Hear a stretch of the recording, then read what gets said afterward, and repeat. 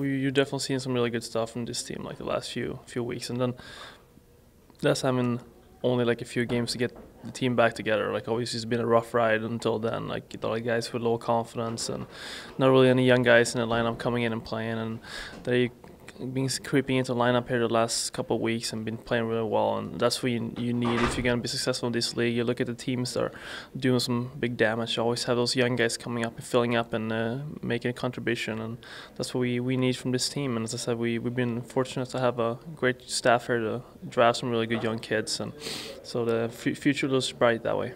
How, how different of a feeling uh, is it going to be to not be playing this week, not be playing on Wednesday or whatever?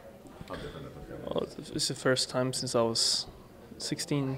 I'm not playing any any like kind of playoff game. So obviously it's it's different. It's not a feeling that I that I enjoy and like. And I think it's just gonna be uh, a little extra motivation to work extra hard in the summer and come come back with a bang. And as I said, we, we're definitely one of those teams in this league in this position that we have so much more potential. So I can definitely see us make a make a 180 and come back next year. Yeah, the, the differences defensively, especially over the last six, eight weeks, were stark from what happened earlier in the season. What were some of the key changes that were made after Bob stepped behind the bench that helped you guys take drastic steps forward defensively?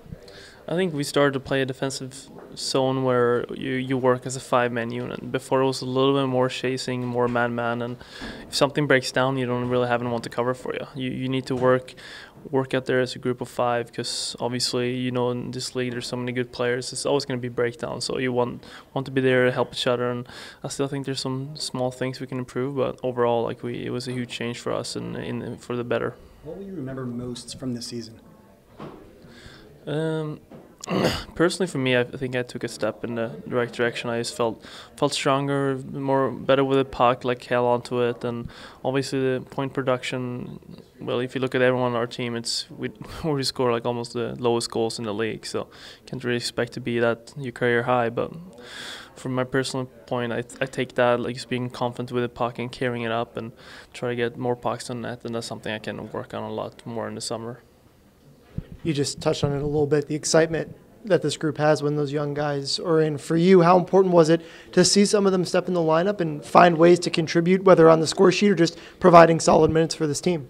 No, obviously that's huge, as I said, and we're, we're really fortunate with this team here. As I said, we've been drafting well for the last few years here, so we, we got a good young group of D. We get some some talented goalies, and we get we get some core guys that have been really good and all, always so good on our team. And then we get those young guys coming, filling up. So it's just it's about getting the pieces into place. And as I said, you, you look at some teams, you're like, oh, oh wow, how, how can that guy be that good? He wasn't that good there. That, I think that's something we need on this team. We need we need to next year be a team where, where other teams looking like, oh wow, they're really like outperforming. But it's it's more from a standpoint that we get in and we play with confidence and we we just get the best out of everyone and like squeeze out a little bit of that extra. Because if you want to win in this league, that's what you need to do.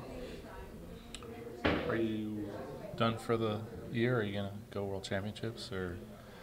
I, I really wanted to go play World Championships, but I've had some uh, some hip issues. That's why I missed some games early this year. So I'm gonna have to go and uh, take a closer look at that and just hopefully it's not too bad of a fix, and then uh, get to get ready for next season and really load up for for next year.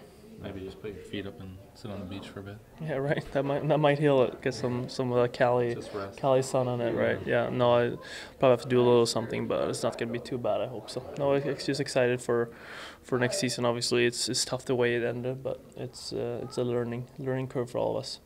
Oh, so you're expecting a minor procedure?